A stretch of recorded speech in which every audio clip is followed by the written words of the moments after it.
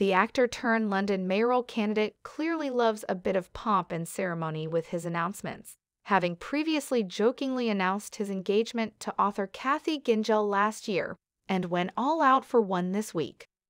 Taking out a spot in the Telegraph, Laurence, 43, announced he was engaged to one Arabella May Fleetwood Neagle before repeating the news to his 305,000 followers on Twitter. He wrote alongside a photo of the notice, she said yes.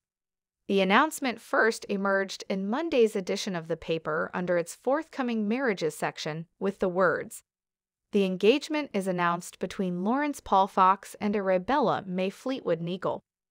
Arabella, however, appears to have zero online presence and has managed to lead a brilliantly under the radar life for someone as in the public eye as Laurence.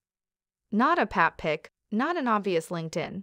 And while Laurence follows an Arabella on Instagram, Arabella24 is private, has 90 followers and no posts, not even a profile image.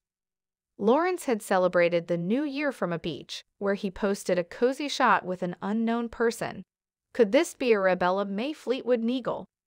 In the words of Kris Jenner, this is a case for the FBI.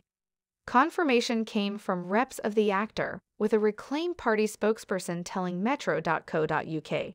Laurence is engaged to Miss Neagle as per the Telegraph announcement today. In June last year, he joked he was engaged to author Kathy Gyngell, sharing a photo of the pair kissing as he wrote, We are very pleased to announce our engagement.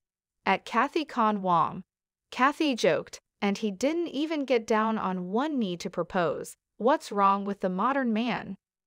Laurence went on to share another post alongside Kathy in December, as the pair had another kiss, writing, Tonight we kiss. Tomorrow we are getting married.